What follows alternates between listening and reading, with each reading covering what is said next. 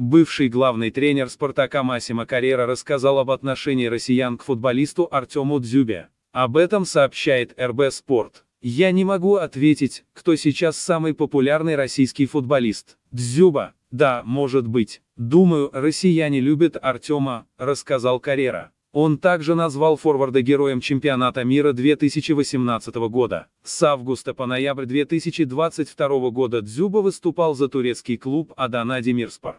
В составе команды он провел пять матчей, в которых забил один мяч. Футболист принял решение расторгнуть контракт с командой, так как не получал достаточного количества игрового времени. Карьера тренировал «Спартак» с 2016 по 2018 год. Под его руководством москвичи выиграли чемпионат России и завоевали Суперкубок страны.